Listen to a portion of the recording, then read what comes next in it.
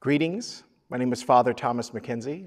I'm the pastor of Church of the Redeemer, an Anglican church in Nashville, Tennessee, and I'm here to walk you through the Stations of the Cross.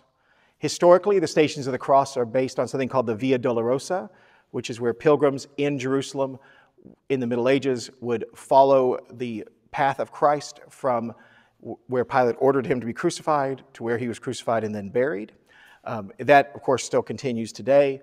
The stations were set up, we think, first in the 14th or 15th centuries by the Franciscans who wanted to give people who could not go to Jerusalem a chance to walk that same path.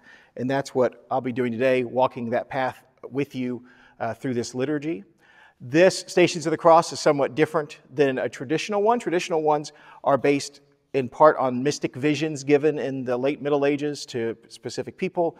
This one is based on uh, the Bible.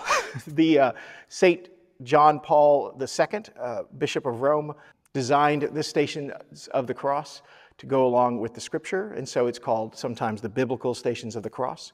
So I will uh, show you the image that is on our church um, wall of our station, and I will read the liturgy with you. My suggestion is that you say a couple of things with me. The each station begins with this phrase We adore you, O Christ, and we bless you, for by your holy cross you have redeemed the world. And so I invite you to say that with me when I say it. And every station ends with something called the Trisagion. We say, Holy God, holy and mighty, holy immortal one, have mercy upon us. And I also invite you to say that with me. I'm going to do my best to give you a link to where you can find the entire text of this Stations of the Cross. But even without the text, you can hopefully uh, meditate upon the images that I'm going to show you and hear the words of both the scripture and the prayers, and I'm hoping that it will be a blessing to you. This is the first station. Jesus prays in the Garden of Gethsemane. We adore you, O Christ, and we bless you, because by your holy cross you have redeemed the world. Then Jesus went with his disciples to a place called Gethsemane, and he said to them, Sit here while I go over there and pray. He took Peter and the two sons of Zebedee along with him, and he began to be sorrowful and troubled. Then he said to them, My soul is overwhelmed with sorrow to the point of death. Stay here and keep watch with me. Going a little farther, he fell with his face to the ground and he prayed, My Father, if it is possible, may this cup be taken from me. Yet not as I will, but as you will. Then he returned to his disciples and found them sleeping. Couldn't you keep watch with me for one hour? He asked Peter. Watch and pray so that you will not fall into temptation. The spirit is willing, but the flesh is weak. God did not spare his own son, but delivered him up for us all. Let us pray. Almighty God, whose most dear Son went not up to joy, but first he suffered pain, and entered not into glory before he was crucified, mercifully grant that we, walking in the way of the cross, may find it none other than the way of life and peace. Through Jesus Christ, your Son, our Lord. Amen.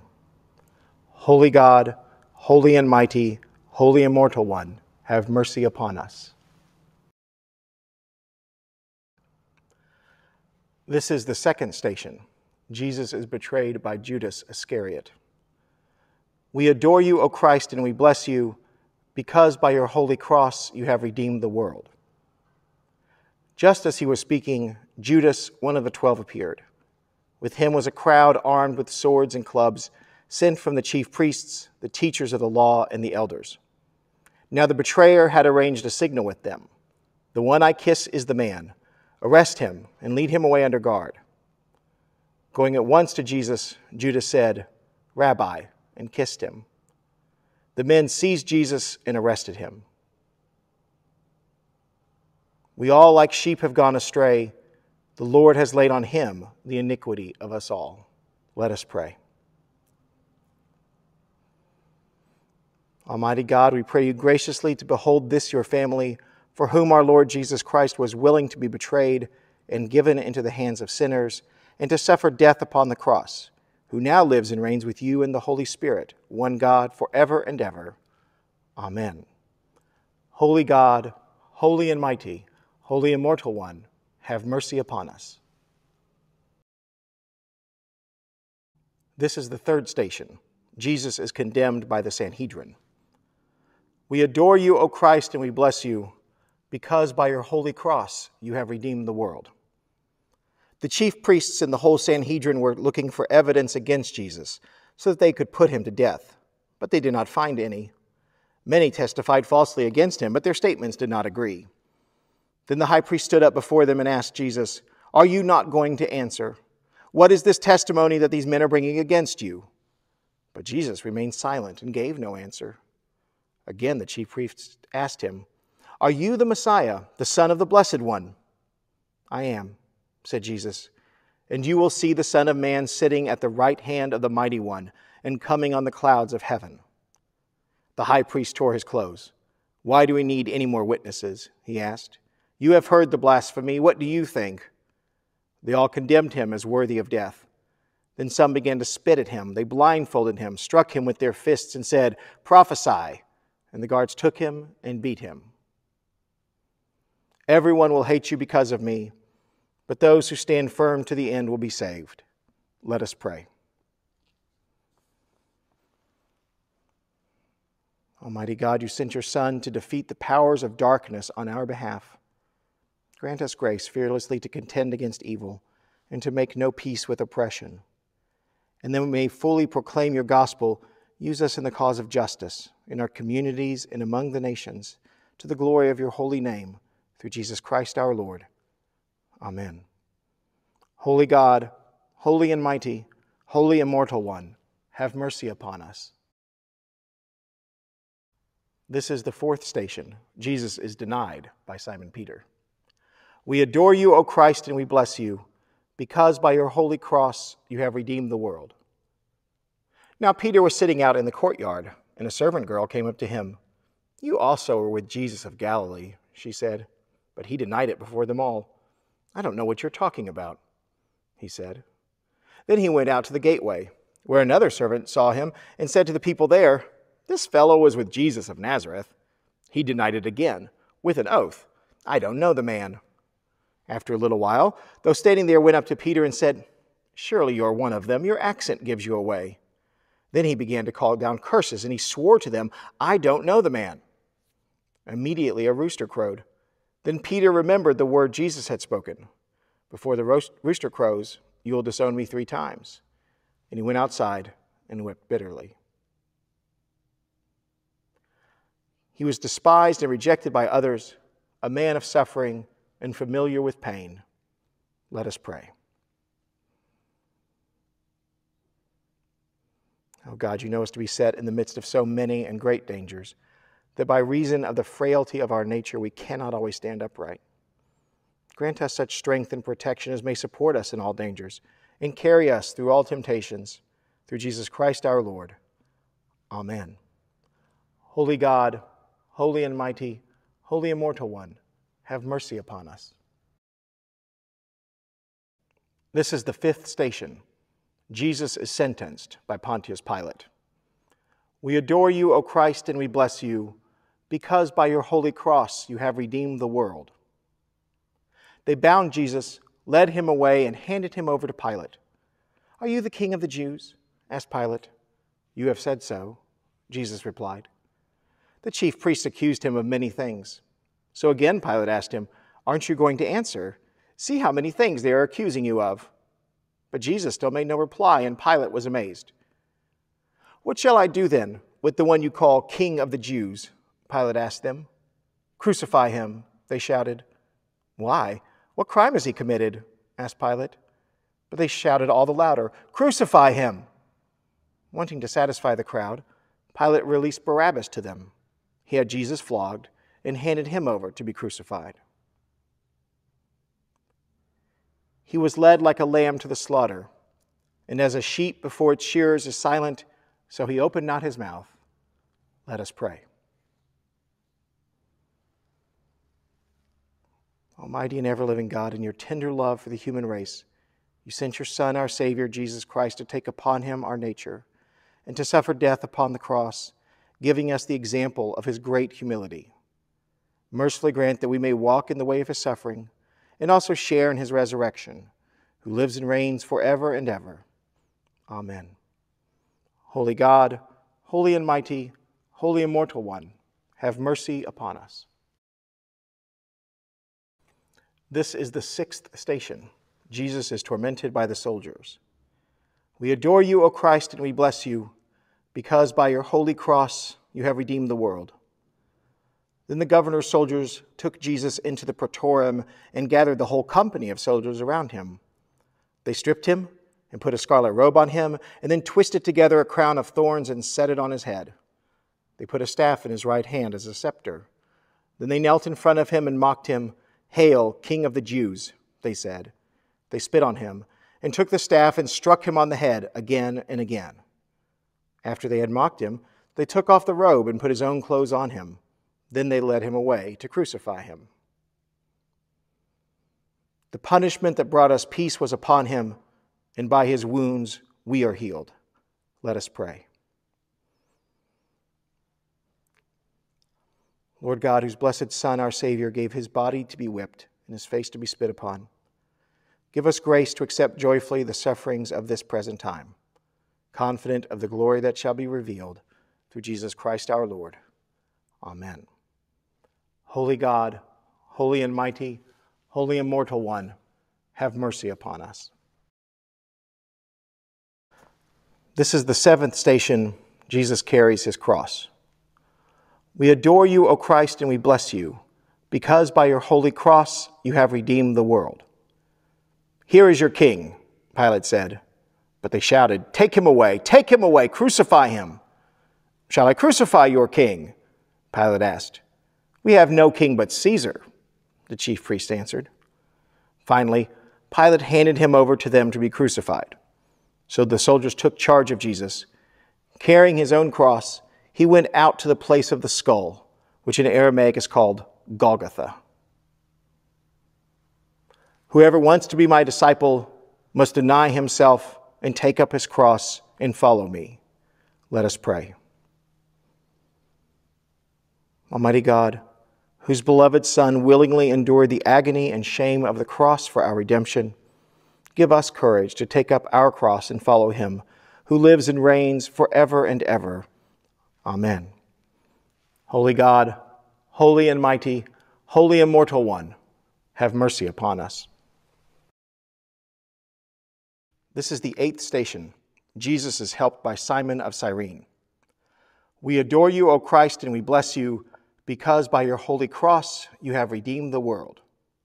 As the soldiers led him away, they seized Simon from Cyrene, who was on his way in from the countryside, and put the cross on him and made him carry it behind Jesus.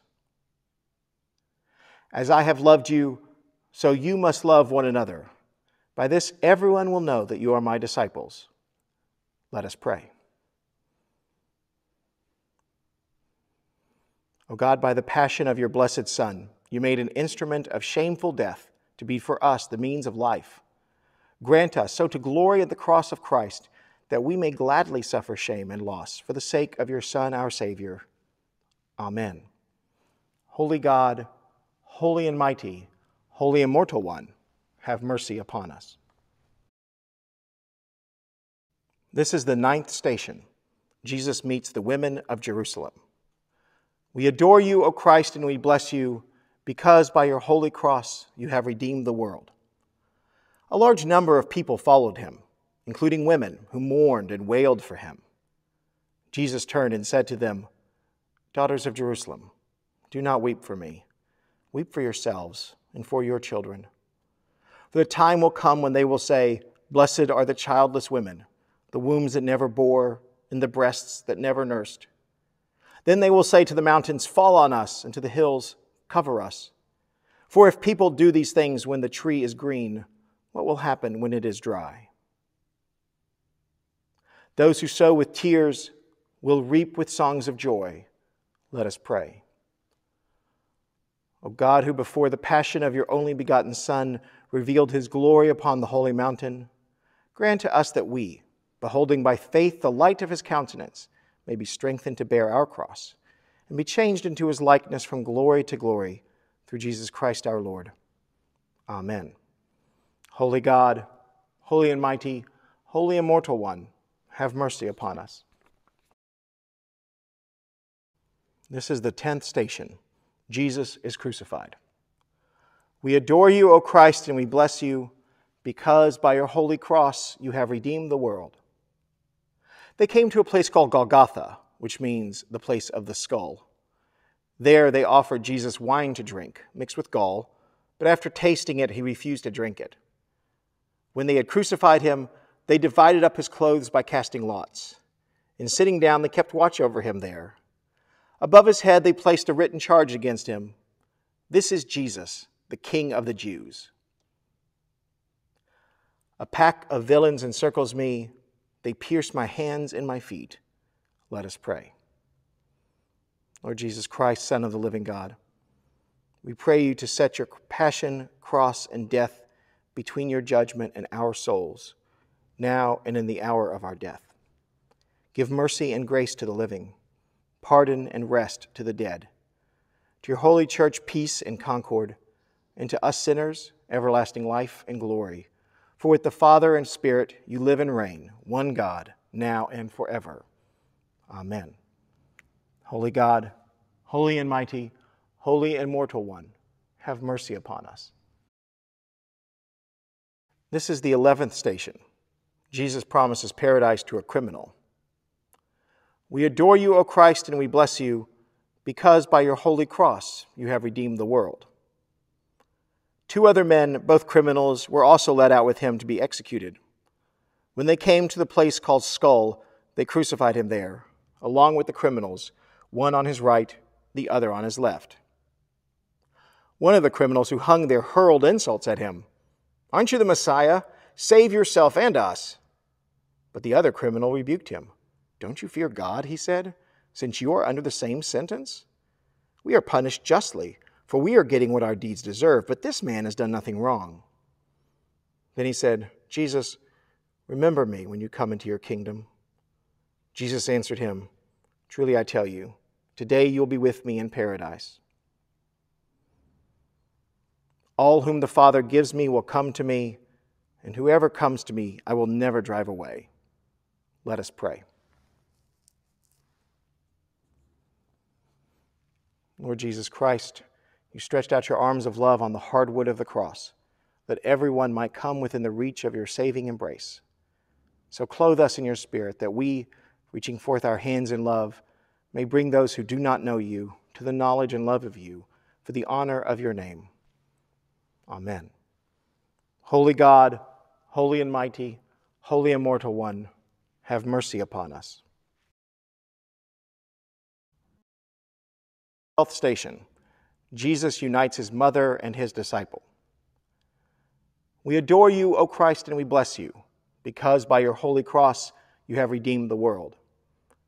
Near the cross of Jesus stood his mother, his mother's sister Mary, the wife of Clopas, and Mary Magdalene. When Jesus saw his mother there and the disciple whom he loved standing nearby, he said to her, Woman, here is your son. And to the disciple, Here is your mother. From that time on, this disciple took her into his own home.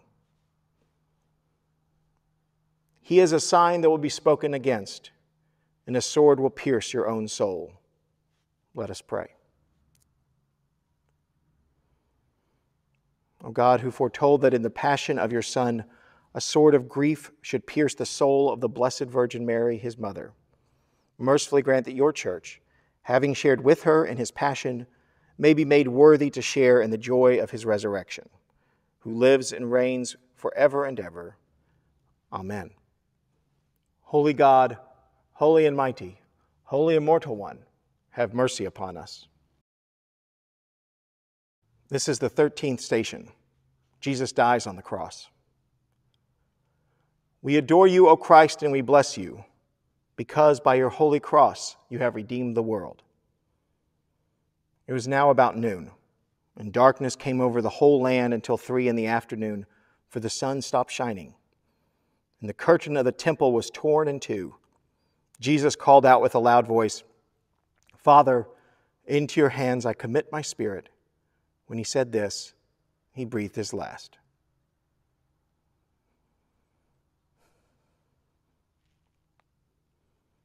He humbled himself and became obedient to death, even death on a cross. Let us pray. Lord Jesus Christ, by your death you took away the sting of death. Grant to us, your servants, so to follow in faith where you have led the way, that we may at length fall asleep peacefully in you and wake up in your likeness, for your tender mercy's sake. Amen. Holy God, holy and mighty, holy immortal one, have mercy upon us. This is the 14th station. Jesus is placed in the tomb. We adore you, O Christ, and we bless you, because by your holy cross you have redeemed the world. As evening approached, there came a rich man from Arimathea named Joseph, who had himself become a disciple of Jesus. Going to Pilate, he asked for Jesus' body, and Pilate ordered that it be given to him. Joseph took the body, wrapped it in a clean linen cloth, and placed it in his own new tomb that he had cut out of the rock. He rolled a large stone in front of the entrance to the tomb and went away. Mary Magdalene and the other Mary were sitting there opposite the tomb. Take a guard, Pilate ordered. Go, make the tomb as secure as you know how. So they went and made the tomb secure by putting a seal on the stone and posting the guard. You will not abandon me to the grave, nor let your Holy One see corruption. Let us pray.